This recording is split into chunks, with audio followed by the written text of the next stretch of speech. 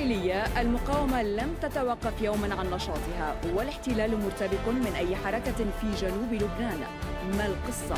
الرياض تجمع شتات حلفائها في اليمن تحول من قائد حرب إلى وسيط بينهم الأمم المتحدة تتقصى عن اتفاقية فنزويلا وكوريا الديمقراطية وإليت أبرامز يراقب من هو؟